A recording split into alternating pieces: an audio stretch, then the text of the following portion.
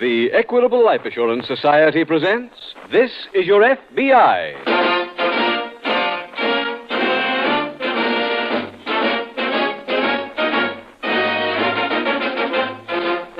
This is Your FBI, the official broadcast from the files of the Federal Bureau of Investigation. Presented transcribed as a public service by the Equitable Life Assurance Society of the United States and the Equitable Society's representative in your community.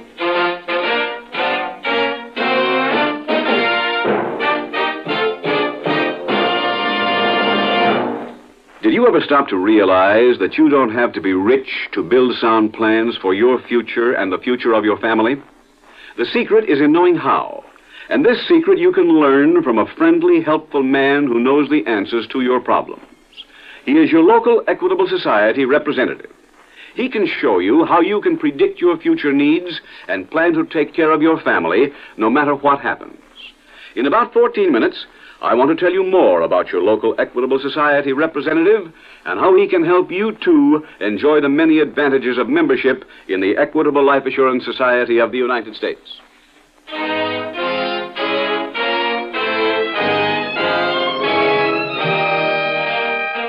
Tonight, the subject of our FBI file Armed Robbery. Its title The 16 Millimeter Stick Up.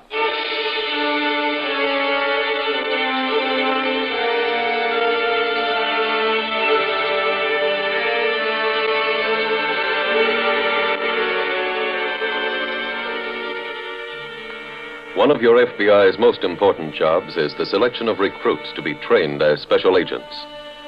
The screening process to which all applicants are subjected is extremely exacting. Of the men desiring to become agents, only a small proportion can meet the requirements. All FBI men must be in top physical condition. They must possess poise, tact, judgment, and resourcefulness. Naturally, they must be men of character and integrity. They must be well educated and have a knowledge of legal procedures. But beyond all this, they must have the mental alertness to think fast on their feet, adapt their knowledge to new situations. For no crime ever follows the same pattern. Each, as tonight's case illustrates, is a challenge for the men of your FBI.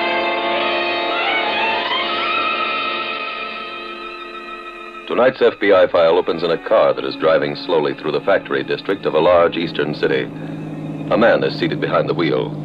A girl is seated beside him reading a newspaper. Frank, Hmm? will we get to the track in time for the second race? I don't know. There's a horse here called Paul's Dream. I gotta play him. It's a hunch. My sister used to go with a fella named Paul. He was all the time having dreams. that sounds very scientific. What are you slowing down for? We're stopping here. What? I'm going to take your picture. What? Let's get out, Irene. Well, are you serious? Yeah, I got my movie camera right here. Oh, but what about the track? Don't you want to have your picture taken? Well, sure, but Then just stand right over there by that lamppost. you do the silliest thing. It won't take long. Is it color film? Uh-uh. Well, I'll fix my makeup anyway. Now, don't bother. Hmm, Okay. Say, Frank, are you taking the picture from there? Yeah. Well, with that half-finished building in the background? Mm-hmm. Oh, look. Couldn't I stand in front of something better than that? Now, just stay right where you are. Okay. You taking it now? Uh-huh. Uh, should I wave or something? Like this? Fine. Well, how about if I, I was... Well, maybe blow kisses. Great. Now I'll spin around like. Open my coat? Terrific. Frank, I can't think of anything else. Now, you're doing swell. Now, just hold it there another few seconds. Ah, that's it. It's all over? Uh-huh. When will they be developed, Frank? Next week. Hope they turn out good. I got some news for you, honey. You're not even in them.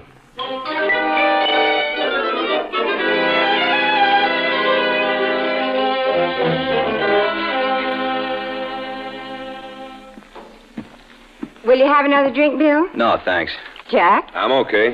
Irene, what's with Frank? What's he doing? He's fixing something in the next room. Well, what's the store? I thought he asked us here to talk about a job. You did. Well, where's the action? Well, he wants to. Hi, Frank. Uh, come on in here, will you? Okay. Sure. Me too, Frank. Yeah, come on, Irene. Go ahead, go ahead. Thanks. Hey, what goes in here? I want to show you guys something. Hey, what's that thing? A movie projector. What's it for? I'm going to show you some pictures. What is this? I thought we came here to talk business. This is part of the business. Uh, put the lights out, will you, Irene? Sure.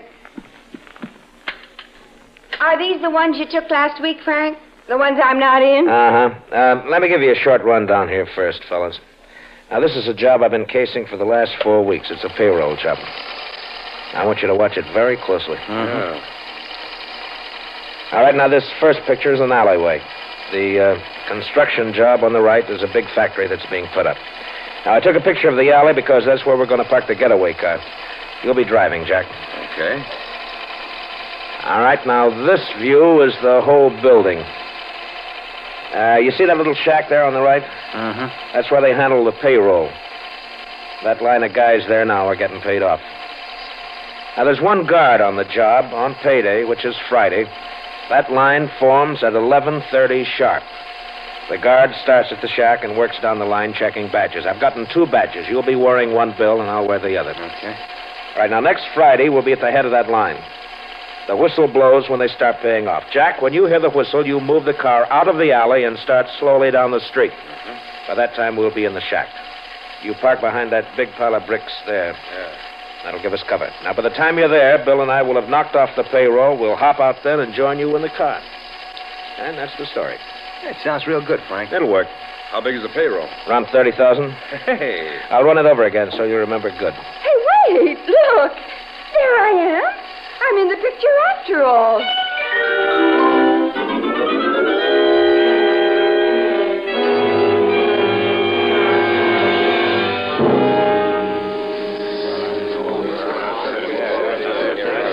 This is okay, Frank.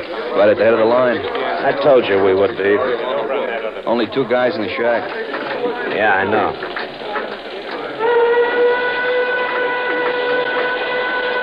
Well, this is it. Right. All right, you guys, come ahead. Let's go. Okay. All right, you boys, over here. Yes, sir. What's your name? Sheffield. Badge number?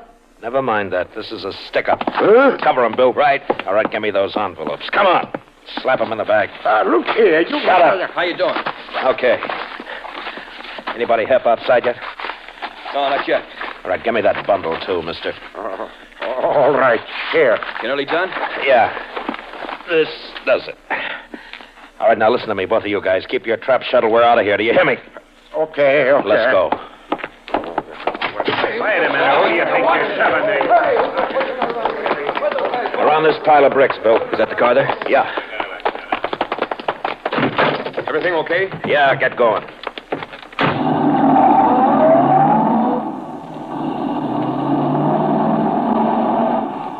Any trouble? Ah, it was a breeze. I'll cover the back.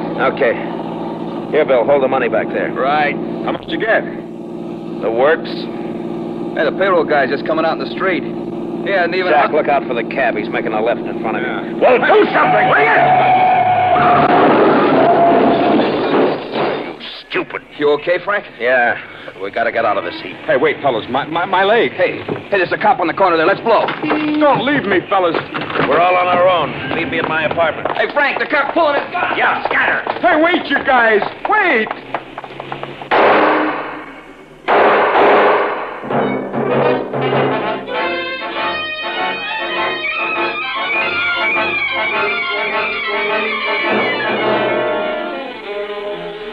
Several miles from the scene of the stick up, at an FBI field office, Special Agent Jim Taylor is just giving a report on this daring job to a fellow agent. And it looked as if they were going to get away clean, Walt, until a cab accidentally cut in front of the getaway car.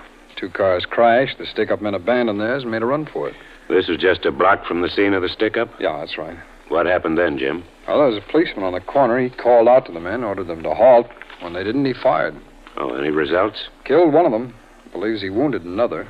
The second man, however, still made a getaway along with the third. How about the money? Well, unfortunately, one of the two men who escaped still has it. Well, uh, how do we come into the case, Jim? The car that was used had out of state license plates uh, from Michigan. This gives us a basis to help the local authorities. Checkup showed that the car had been stolen, so. Oh, I see. Mhm. The man who was killed was the driver. Any ident on him? I don't know, Walt. The body was taken to the morgue. I'm going down there now and pick up his fingerprints and check his effects.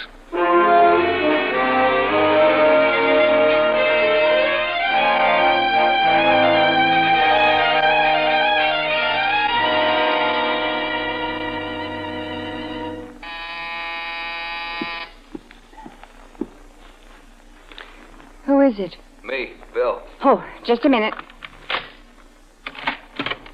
You alone? Yeah, Well, where's Jack and Frank? I don't know. What do you mean? What happened? Just let me sit down. huh? Where are they? Bill, where are they? We all scattered. We were all to meet back here. I don't think Jack's gonna make it. Why not? He got shot. Bad. Last I seen him, he was stretched out on the street. What about Frank? He he got away okay. Well, did the job go bad? No, no, that, that worked okay. After we got the dough pulling away, we ran into a cab. Oh, Yeah. Cop seen us when we made the break. He started shooting. say, what's wrong with you? Help me get my coat off, Irene. Ooh.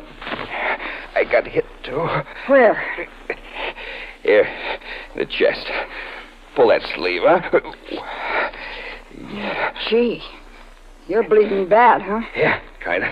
We better call a doctor or something. No, no dice. Well, if you're bleeding Look, like that, just you got. To help me, huh? Put me in a bedroom. Let me lay down a while. Sure, Bill.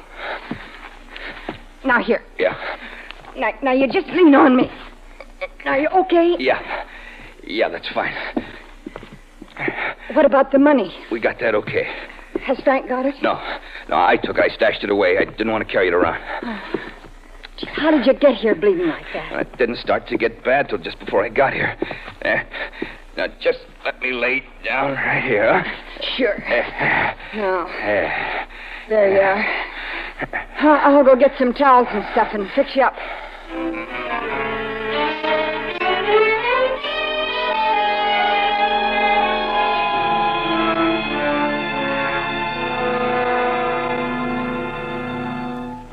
Jim, uh, did you go to the morgue? Just came from there, Walt.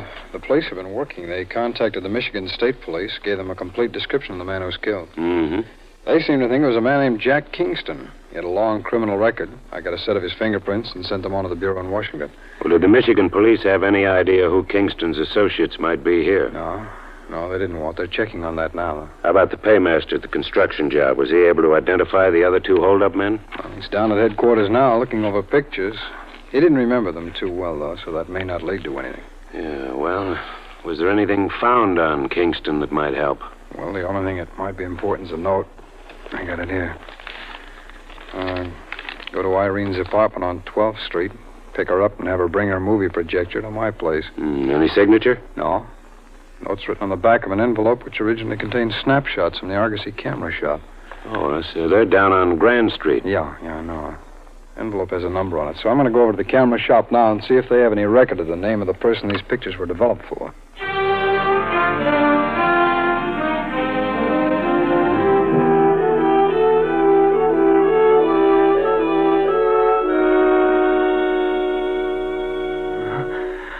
I went. I was there on time. Bill, Oh.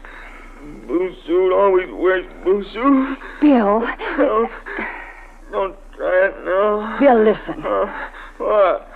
Don't you think we should get a Turn doctor? the boy up and down, up and down.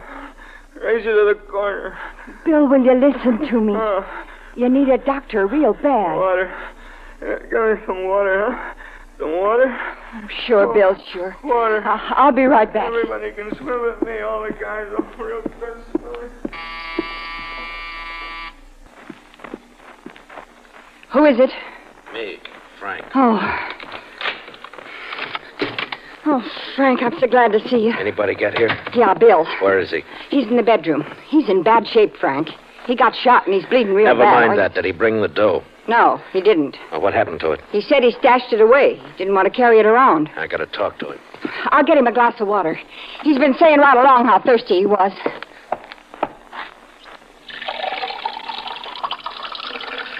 Irene? Yeah? What is it? Where did Bill stash the dough? I don't know. Well, didn't you ask him? No. Why, you blubberhead. Well, ask him yourself. I can't, stupid. He's dead.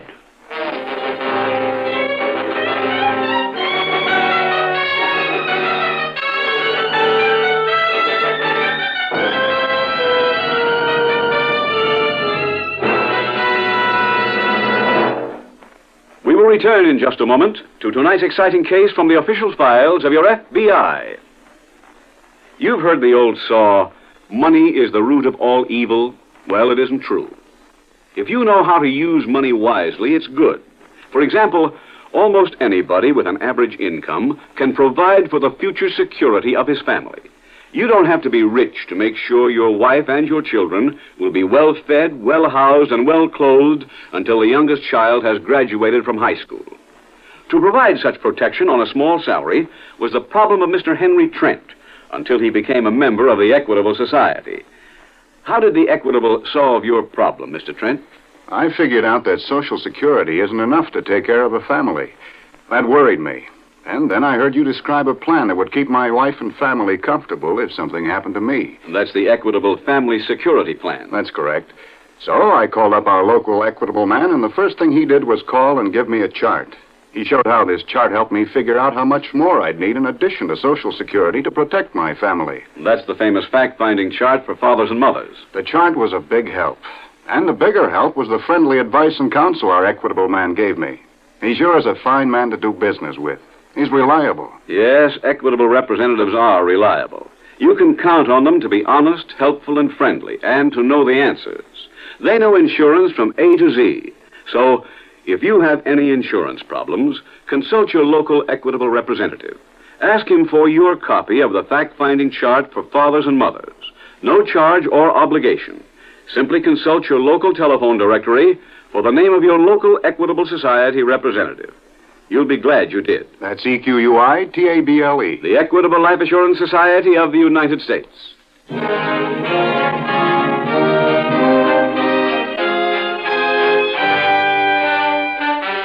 And now back to tonight's FBI file the 16 millimeter stick up.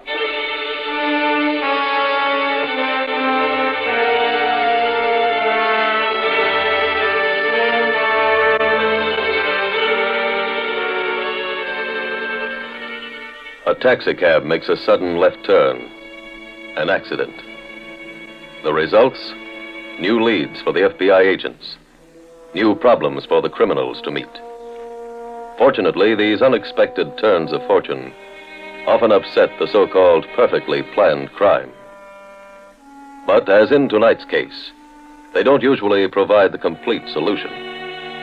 The answer lies in the agent's ability to take advantage of a break. For delays may be costly, both for the agents and the criminals. It is here that our men have the advantage.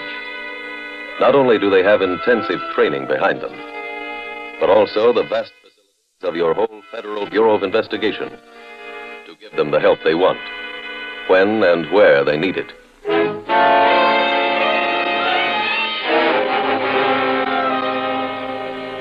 Tonight's file continues at Frank Jessup's apartment. He is pacing the living room floor. The girl, Irene, sits dejectedly on the sofa. Weeks I spent on this job, weeks, and what have I got to show for it? A great big hunk of nothing. Hmm, I'm sorry, Frank. You just had brains enough to ask the guy where he stashed the dough. Five year old child would have done that. But you always told me not to ask oh, questions. Oh, shut up. I'm trying to think. Not having the dough ain't our only problem. What do you mean? Do they know you did the job? I don't know how bad off Jack was. He might be singing to the cops right now. Oh, That ain't all. We got a stiff in the bedroom, a dead body we got to get rid of. What do we do with him? well, let me think. I'm not asking you. Give me a cigarette. I don't think I have any. Wait, I'll, I'll look in Bill's jacket. I gotta figure some way to blow town. Better get a hold of some cash in a hurry. There are no cigarettes in his pocket. Nothing but this claim check. What? This here. It's a baggage check. Now, let me see that. Sure. Here. It's from the railroad station. There's a time stamp on it. Hey, he checked something this afternoon. Honey, this is where he stashed the dough.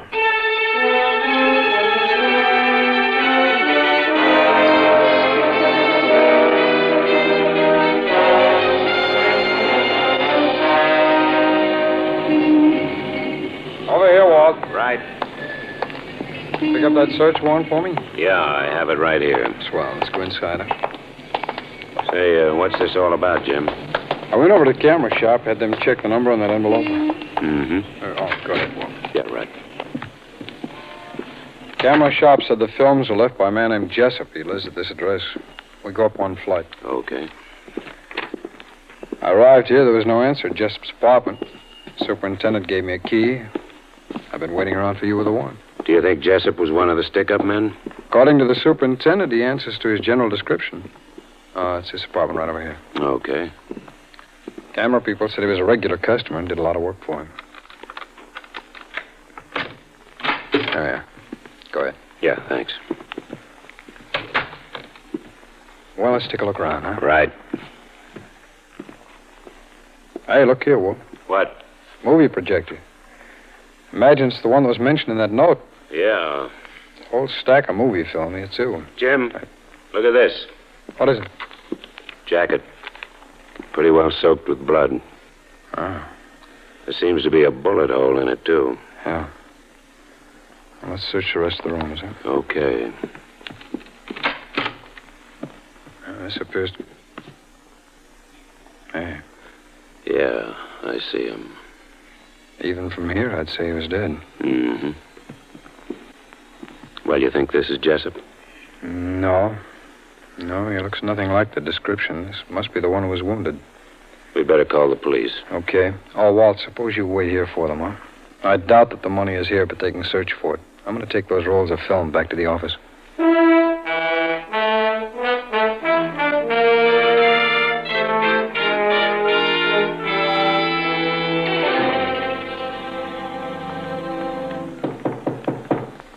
On in. Well, how are the movies going, Jim? Oh, Walt just in time. Uh, you want to snap off that light? Sure. I want you to see this reel. Okay. These pictures are where the stick-up took place. Well, you mean this is the way they cased the job? Evidently, yeah. That's the construction job there. Yeah. Pretty clever of them. Uh-huh. Oh, by the way, there was uh, no trace of the money at the apartment. I didn't think there would be. One of the men from homicide identified the body, though. Oh? A man named Bill Winfield. He was involved in another holdup several years ago. Uh-huh. Well, say, is that all there is to this, Jim? A scene of the crime? No, no, there's something coming up right about now that should be very helpful. Uh, here it is.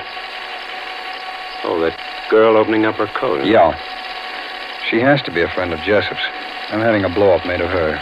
Just might be something she's wearing that'll give us a lead on where to pick her up. We find her, we might find Jessup.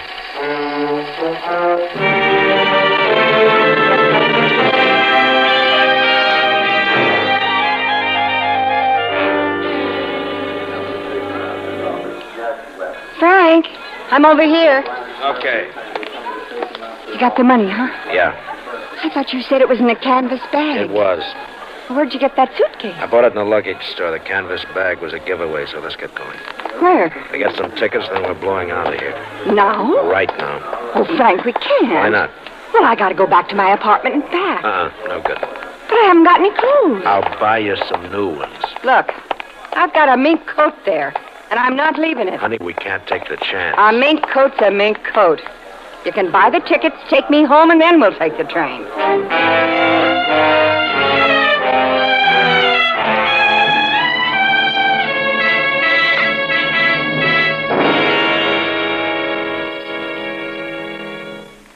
What's happening, Jim? Well, I just got the enlargements on that girl. They lead to anything? Yeah, I found out she was the one who was mentioned in the note. Irene? That's right. She has a lapel pin on there. I-R-E-N-E, see? Oh, yeah. I just found something else here, too, Walt, but I must say I'm a little puzzled by it. What is it? Well, as you can see, she's holding a coat open. You know how many times women have their names written on the inside lining? Yeah, well, there is something on the lining. Yes, but it isn't writing. It's several bars of music. Here, let me look at it. Okay. Here, take the magnifying glass. All right. You read music, Walt? Yeah. mhm. Is there any melody there? Yeah, I see it goes, um. Da, da, da. Da, da, da, da. Da, da, da, da. Da. Oh, that's the melody. Sounds familiar. Do that again, will you? Da, da, da. Da, da, da, da, da, da, da, Hey, wait a minute. Uh, wait a minute. That's an old song called Sweet Lorraine. Walt, her last name could be Lorraine. That note said she lived on 12th Street, so let's get busy.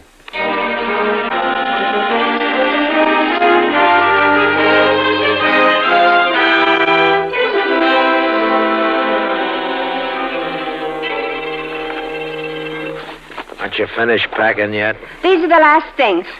There. That's all. Well, close the bag and let's get out of here. Okay. All right, now come on. Oh, wait a minute. Oh, what now? My coat. I almost forgot my coat. Well, hurry, will you? What time does the train leave? Uh, uh, half an hour. There. Now I'm ready. Good. I forgot to ask, where are we going? West, Where west? California. Oh, wonderful. Go ahead. Thanks. Just a minute. Huh? Are you uh, Irene Lorraine? Yeah, why? Well, then you must be Frank Jessup. Who are you? Special agents of the FBI. Oh. Look out, Jim. Yeah. Now, when he comes to, we'd like to talk to you both about some pictures.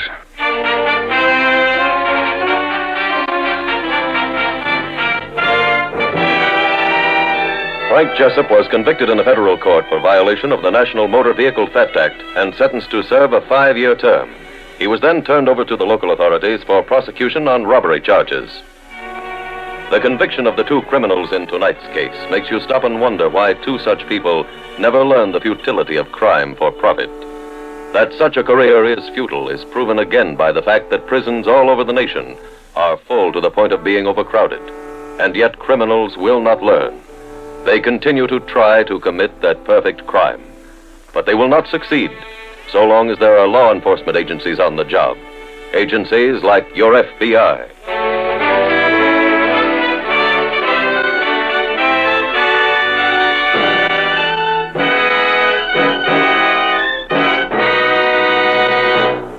Do you envy the man who makes more money than you do? Well, he envies the man who makes more money than he does. The truth is, it isn't how much money you make, but how you handle it. Almost anyone with an average income can do this. He can own his own home free and clear. He can provide for his children's education. He can plan to retire with a comfortable income in his 60s. He can protect his family regardless of what happens to him. How? Ask your equitable representative for the answer. Consult your local telephone directory for the name of this friendly, helpful neighbor, your local representative of the Equitable Life Assurance Society of the United States.